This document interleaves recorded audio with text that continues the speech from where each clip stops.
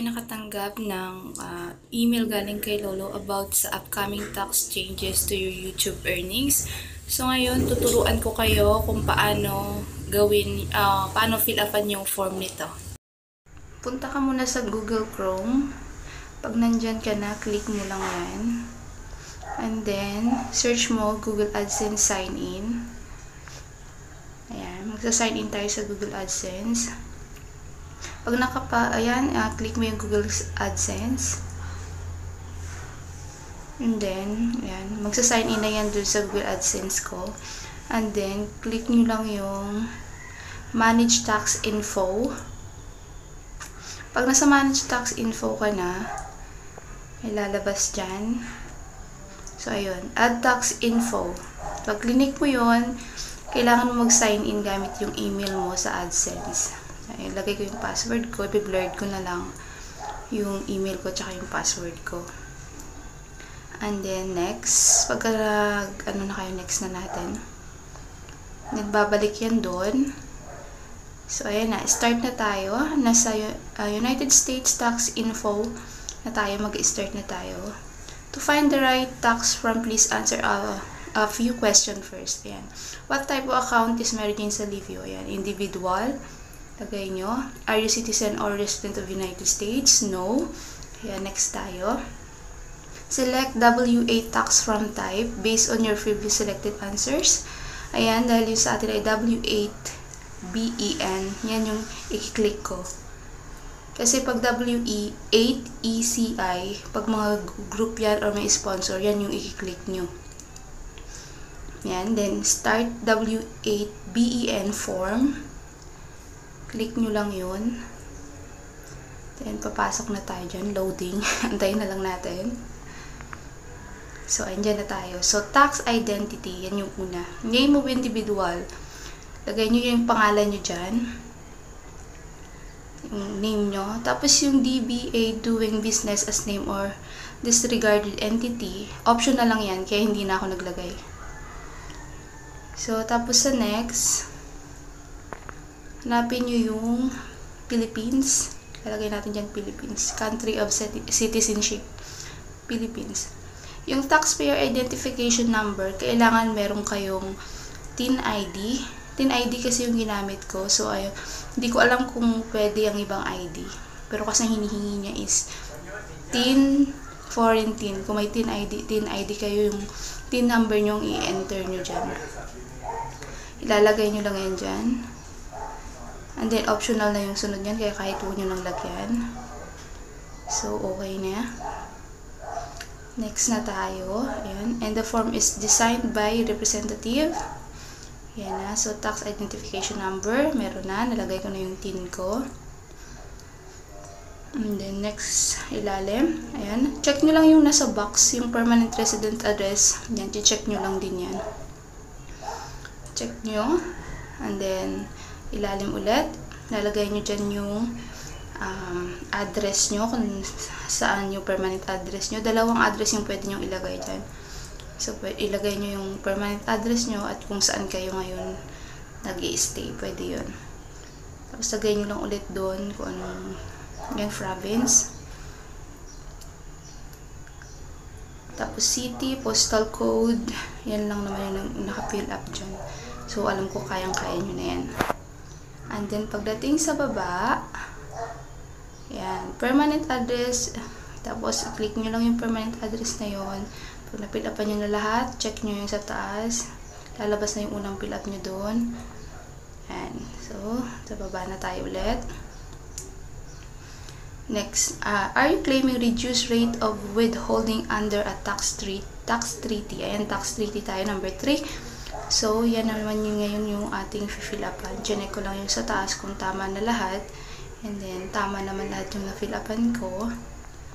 Ito na tayo sa baba. Yan. So, sa tax treaty tayo, no, kung US tax law may impose at 30% withholding tax tayo, yan ang ilalagay nyo. Pero kung hindi naman, ang nilagay ko ay yes. Ah, lobat na. Yes, yung ilalagay ko dyan sa akin. So, Philippines lang ulit. O, kung are you claiming, a resident of the country claiming treaty with the US, yan, yes. Ayan, kailangan dyan sa ano, lalagyan mo ng 0% reduce rate. 0% lang nilagay ko dyan. Yan, sa Service AdSense, Article 8 and Paragraph 1, 0% reduce rate. Check nyo lang ulit yung box, yan. Yung next, Motion Picture and TV YouTube Google Play, Article 13 and Paragraph 2A, yan ay ilalagay nyo. Withholding rate, 15% reduce rate. And then, check nyo lang ulit yung nasa box. Kung nailagay nyo na yan. Check nyo lang ulit yung nasa box yan. Other copyright, YouTube, Google Play. Yan. Check nyo yan. Tapos, lagay natin dun sa article paragraph, article 13 and paragraph 2A. Withholding rate, 15%. Reduce rate. Lagay nyo lang din yan. And then, check nyo ulit yung nasa box. Sa 0% and 15% lang lagi ilalagay nyo. Kung gusto nyo na mas mababa yung tax nyo. Yan. Check nyo lang yan. Then, next na. Pag na-check nyo kung okay na lahat yung nasa taas, na-check nyo lahat. And then, pwede nyo nang, pwede na kayo mag-next. Ilalagay ko na lang din yung ano, uh, kung paano ginawa sa description box. Ayan, next na tayo. So, ayan. Document preview na tayo. Ayan, check ko na lahat. Tax identity, correct. Tax treaty, correct na rin. Meron na lahat yan. Documents review, preview na tayo. Ayan. Check nyo lang yung nasa box ng documents preview. Ayan. Sa gilid niyan may parang form. Yun. Yung sa gilid na form na yun, yan yung parang pinilapan natin. So, kailangan lang i-confirm yan na talagang ikaw ang gumawa. Yan. Yan. Check nyo yung nasa box ha. Yung, hindi ko lang napang... Yan. Check natin yan. Then, tsaka kayo magne-next. Para sa certification na tayo. Pag nag-next tayo, nasa certification na tayo. Dalawan lang matatapos na. Turn ng certification. Signature na lang. Ayan, babasahin nyo lang yan guys.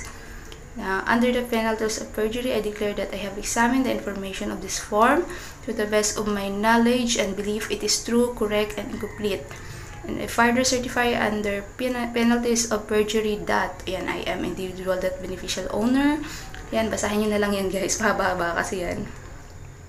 So, pag nabasa nyo na yan, at tama naman lahat na ilagay nyo, yung your signature sa full legal name, ilalagay nyo yung a full name nyo po. Yung full name nyo po, hindi po yung name ng YT nyo. YouTube, hindi po yung name ng YouTube nyo, kundi yung full name nyo, yung tunay yung pangalan. So, nabasa ko na yan. Lagay nyo lang dyan. So, lalagay ko na yung full name ko. Sulat natin. i-blurred ko na lang din. Pero nakita nyo na yata dun sa iba, hindi ko na natakpan. And then, are the person listed in the signature section? Lagay mo lang dyan, yes, I am the person. Pero kung hindi ikaw yung nag, uh, nag, ano na, nagpagawa ka lang, yung pangalawang, um, yung pangalawa yung i-check nyo po. Kung nagpinagawa mo lang. Pero kung ikaw talagang gumawa, first yung ilalagyan ko ng check. So, sa next, Meron pang next yan. Status change affidavit. Ayan. Ay, activity service perform in US affidavit. Ayan. No. US individual or identity in, identified in the tax identity section perform any activities and services for Google within US. No. No mo ilalagay mo dyan guys. No yung ilalagay natin. So, pagka no na nilagay nyo doon, tapos check nyo lang ulit yung box. Tapos, next tayo sa status change affidavit. Are you providing tax info for our new existing payments? Profile. Yan, hindi ko na mabasa sa dulo. that hasn't received pay, pay your existing payment, payments, profile that has previously received payments. Ayan, kung ikaw ay naka, hindi pa nakakasahod, simula nung nag-start ka sa YouTube, ang una mong, ang check mo dyan ay yung first, yung nasa unahan. I am providing tax info for new existing payments, profile that hasn't received payment. Ayan, hindi ka pa nakakasahod. Yan yung pipindutin mo yung nasa una. Pero kung nakasahod ka na po, at kunyari pangalawang sahod mo na, pangatlong sahod mo na ngayon, yung pangalawa po ang pipindutin mo. At dahil nakasahod na ako, nakasahod na ako ng isang beses, ayan, chinek ko yung pangalawa. So, tapos, na next tayo. Check nyo lang ulit yung nasa box. Pag na-check nyo na yung nasa box, wait natin, dami ko pang alam dyan. Check lang natin yung nasa box. Yan. Huwag nyo, wala nang kailangan lagay dyan sa changes. Submit lang. Yan. Pag nasa, check nyo muna pala lahat. From the start, makikita nyo naman kung ano yung mga pinil up nyo dun sa taas. Kung tama lahat yun, check nyo naman, complete, nagawa nyo lahat. Kasi nagbo-blue naman yan kung tama yung nagawa nyo. Kasi pag mali yung nagawa nyo, magre-red yan. Hindi siya magtutuloy-tuloy. Uh, so, o, pag okay na, submit nyo lang. Yan, submit. So, ayan. Pag mali kayo sa Google AdSense nyo, yan na yung lalabas. Eh, lalabas. Manage tax info. Approve na kayo. Lalabas dyan kung ano yung pinil up nyo dun sa form. Andyan na. Naka-approve na. Kung anong date kayo nag-fill up, lalabas din dyan. Ayan. Claim, claim. Basta yan ang lalabas. Check nyo yan. Um, tapos, uh, mga 5 minutes or 3 minutes may matatanggap kayong email galing kay Lolo, uh, Lolo YT, kay YouTube. Uh, re-receive nyo doon ng, ano, papakita ko dito yung, ano, yung email na na-receive ko pagkatapos kong mag-fill up. So, yan. Complete na yan, guys. Yan. Ito yung natanggap kong email from YouTube. Yan. Google Payments, your tax information has been approved. Ayan, approved na. So, okay na yung akin, guys. So, sana nakatulong ako sa inyo and sa mga hindi pa nakakapag-subscribe sa akin dyan, please do subscribe naman po. Thank you. So, ayan yung uh, uh, step kung paano ko siya ginawa. So, ilalagay ko na lang yan sa description box. Thank you!